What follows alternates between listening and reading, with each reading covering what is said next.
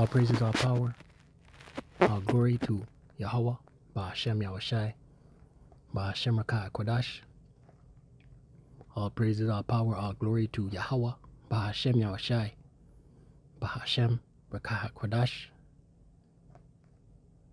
Double honors to the apostles and elders of Great Millstone who teach one rule, who taught me this truth. Peace and salutation to the Akyam, fellow laborers, the hopeful elect, pushing this truth at risk of their own lives throughout the four corners of the earth. To the Akwathium listening, listening, and learning, in sincerity and truth and in silence. Shalom. Yahawah being the name of the Father. Yahawashi being the name of, the, of his only begotten Son. This is your Brother Shema from the Pillars of Benjamin camp here in Toronto with another lesson. Proverbs 11, verse 4. Riches profit not in the day of wrath. Right? Our Lord is going to return. Our Lord, Yahweh Bashim Shai, is going to send his son Yahawashi, Hamashiach. Yah, he, Hawashai, deliverer. The deliverer for the house of Israel, Israel being a people before a place. Our Lord is going to return and destroy this place. Right? So riches will have no profit in that day. The day of wrath, whose wrath? Yahweh Bashim Shai. And two-thirds of our people are so entrenched in this system, this Babylon system, this beast system, that they're so invested in their riches that they are going to pierce themselves to hang on to it, to hang on to their riches, to hang on to their way of life, to hang on to their comforts, their securities right? Pierce themselves how? The Revelation 13, verse 16 on down. The grain of rice, the M to the O to the T to the B, the C hip, which is physical, and insertable physical device. Proverbs 11, verse 4. Riches profit not in the day of wrath, but righteousness deliver from death. Right? And who are the righteous? The elect right? The righteous, the elect, Lord willing over that number, are, are storing up treasures in heaven to be delivered in that day. Right? Because missiles are going to fly. The earth is going to reel to and fro like a dunk, like a drunkard.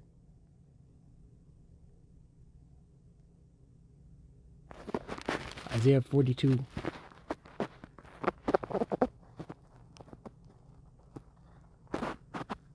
Isaiah 42.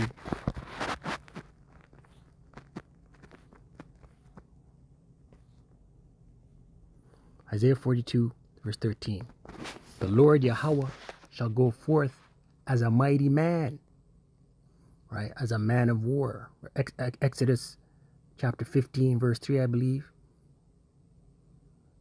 Says, The Lord is a man of war, Yahawah is his name. Roughly paraphrasing. Exodus, the 15th chapter around the third or fourth verse, around the third or fourth verse, right? Isaiah 61 says, Salakia, Isaiah 63 says, Who is this that cometh? Ah, right, let's get that.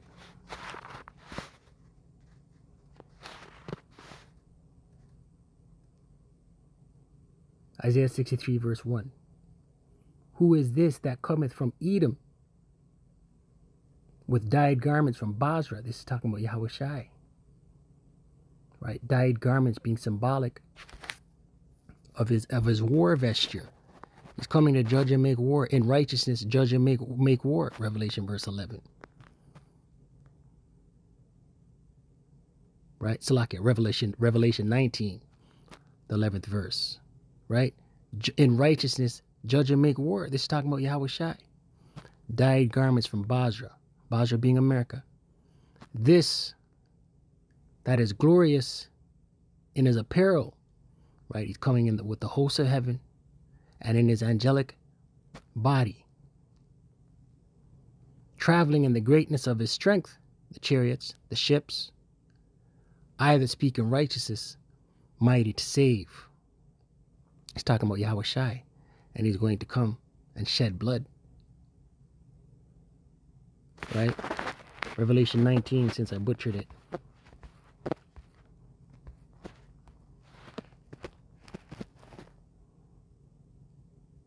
Revelation 19, verse 11. Vision of John the Revelator. And I saw heaven opened, and behold, a white horse. The white horse is a chariot, white symbolic of purity, horse symbolic of power, the ships. And he that sat upon him, right, Yahawashi, is going to be riding a spaceship with the world everything calls UFOs. Right? Yahawashi and the angels are going to invade and judge and make war. And he that sat upon him was called faithful and true, Yahawashi. And in righteousness he doth judge and make war. Right? He's coming to judge and make war. Back in Isaiah 42. So riches aren't going to profit nothing in the day of wrath. Right? Trying to hang on to Esau's queendom is not going to profit nothing in the day of wrath. Lining up in those chipping stations is not going to save you. Isaiah 42, verse 13. And it reads The Lord Yahawah shall go forth as a mighty man, right? It's coming to make war. He shall stir up jealousy like a man of war. He shall cry, yeah, roar. He shall prevail against his enemies, right? The Lord Yahawashi and the hosts of heaven are not going to lose. Verse 14 I have long time holding my peace. I have been still, right? The sun, Yahawashi, is waiting to do this. And refrain myself. Now will I cry like a travailing woman. I will destroy and devour at once. Right? Our Lord Yahawah is not coming on no nice guy thing. It says here, destroy, he will destroy and devour at once. Verse 15. I will make waste of mountains and hills. All governments, all rulerships are going to be made waste. And dry up all their herbs, and I will make the rivers islands, and I will dry up the pools, right? Thermonuclear intercontinental ballistic missiles.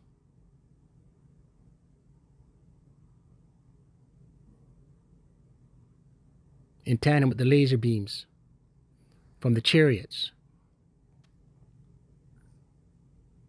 Right? So hanging on, having a vested interest in America the Great will not save you. Proverbs 10, verse 2 Treasures of wickedness profit nothing.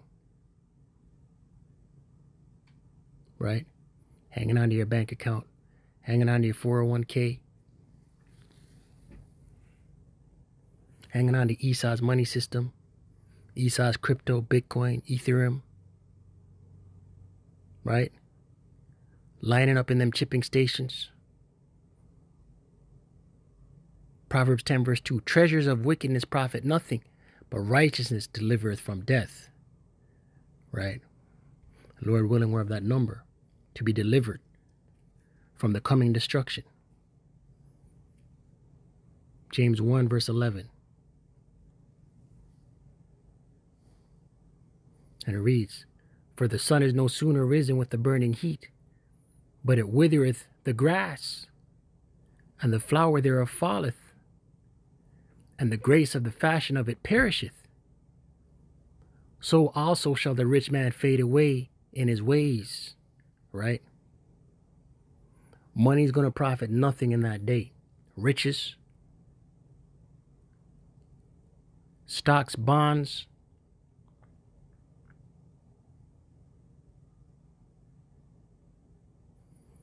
right? The true riches is in Yahawashi. The true riches is his truth.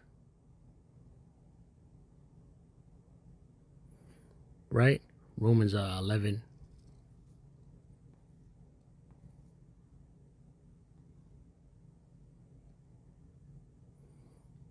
Romans 11, verse 33. And it reads, Oh, the depth of the riches, both of the wisdom and knowledge of the Most High, right? The depth of the riches and the wisdom and knowledge of the Most High, Yahweh Bashim. How unsearchable are his judgments and his ways past finding out, right? This, this, this knowledge is a true wisdom. Proverbs 8.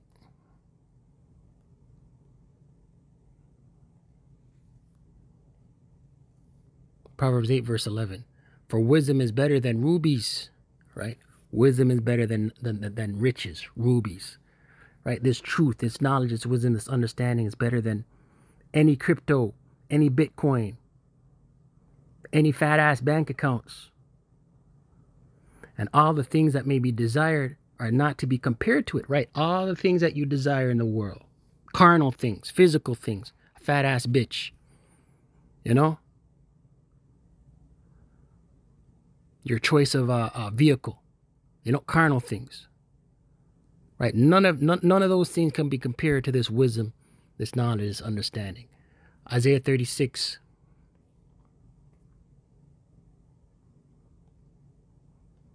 Verse 6.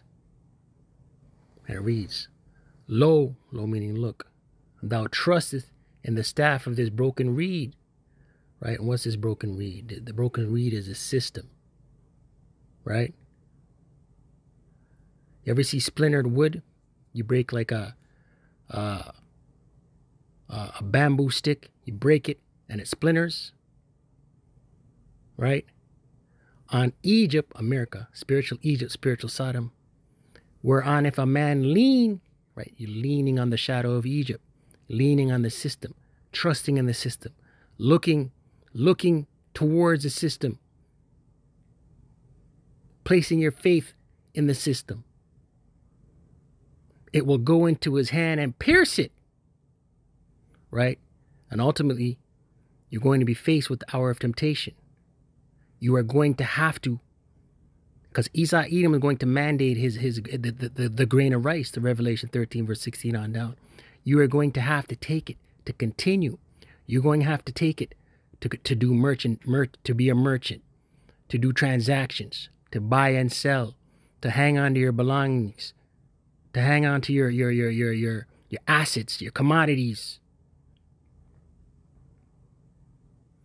So is Pharaoh, king of Egypt, to all that trust in him, right? trusting in this this wicked system, man. Trusting in this the, the, the this this the, the image, the image being the system of the beast. The revised Roman Empire. Right? This diabolical madman's about to roll out a CBDC. Right? And that CBDC is going to segue, is going to be the launching platform for the Revelation 13, verse 16 on down. Revelation 3, let's close.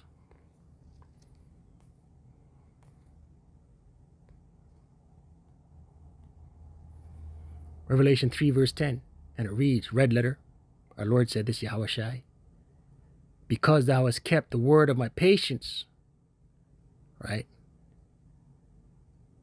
Patience meaning to suffer in this truth. Because when you enter into this truth, scripture says, uh, preparest thyself for temptation. Matter of fact, let's get that and come back to this. Sirach chapter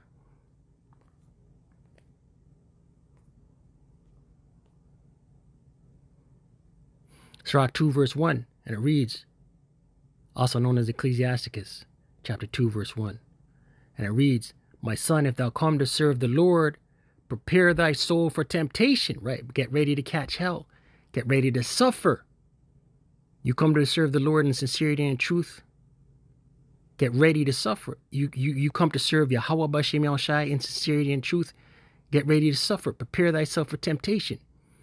Revelation 3, verse 10 once again. Because because thou hast kept the word of my patience, I also will keep thee from the hour of temptation. Right? Everyone's going to be presented with this. The, the, the Esau Edom is going to mandate this thing, the grain of rice. Everyone is going to be presented with it, man. Do I take it? Do I not take it? which shall come upon all the world. The whole world gonna be presented with this. Edomites, Elamites, Ishmaelites, Ammonites, Moabites, you Israelites, to try them, right? The Lord is going to keep his elect, preserve his elect from this thing. Because the elect won't fold. To try them that dwell upon the earth. Stay prayed up, pray without ceasing. Shalom to the hopeful elect.